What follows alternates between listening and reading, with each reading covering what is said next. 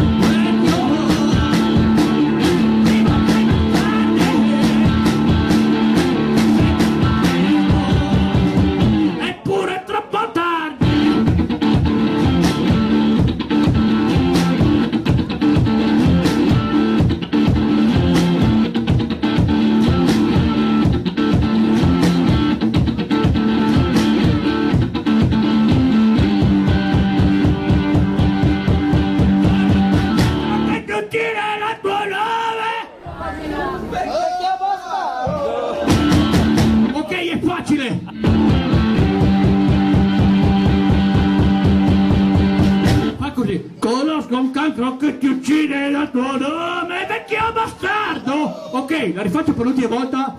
Ci proviamo, altrimenti ci consumeremo dalla rabbia!